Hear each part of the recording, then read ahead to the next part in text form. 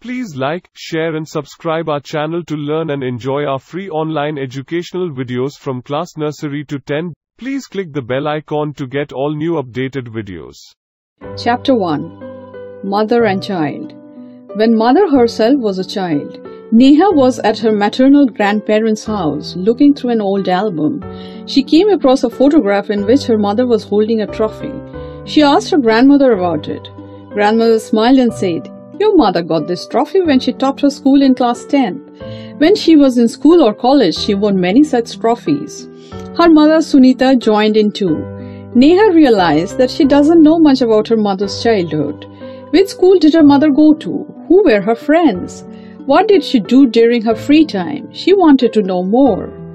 Sunita smiled at her daughter's questions. She then shared some stories of her childhood with Neha. Sunita showed some photographs to Neha which are related to her childhood memories.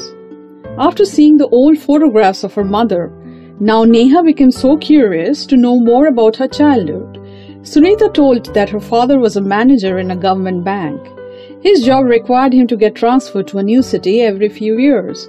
So Sunita and her brother Rahul went to many different schools and visited many cities during their childhood. She told Neha that when they were children, they used to play a lot of outdoors games.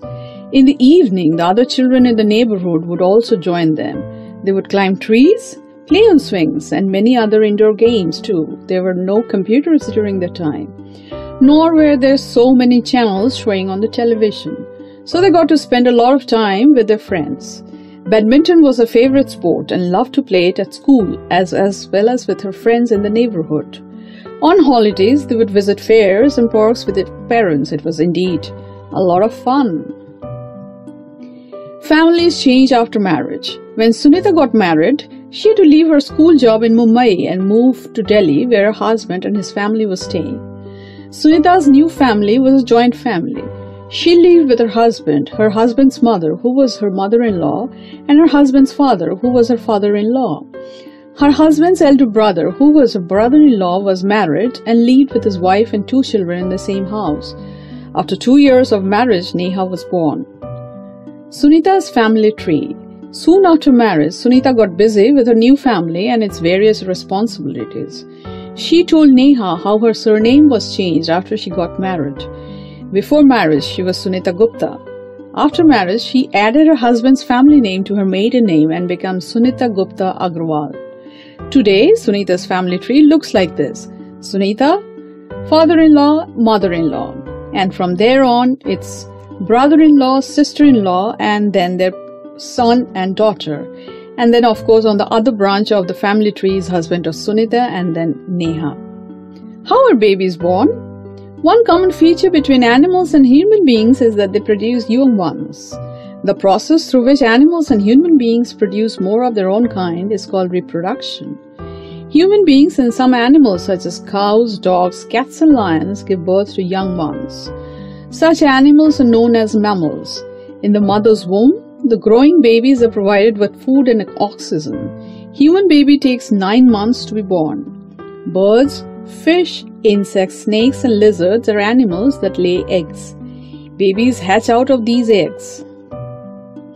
Whether it is human being or animal, the parents take care of the babies and fulfill all the needs. They provide them with food, shelter and every other need. Adoption Neha's parental aunt Natasha has no children. She meets Sarah, a five year old girl, in an orphanage. Sarah had lost her natural parents in tsunami floods. Natasha and her husband decided to adopt her, bring her up as their own child. They will be her foster parents till the legal formalities for adoption are over. Sarah is happy that she will have a new home. Natasha and her husband have become proud parents. Trying to relearn. Families change after marriage. A woman lives with her parents before marriage. After marriage, she moves to the house of her husband and his family. The process through which animals and human beings produce more of their own kind is called reproduction. Some animals lay eggs. To adopt a child and to raise him as their own child is known as adoption.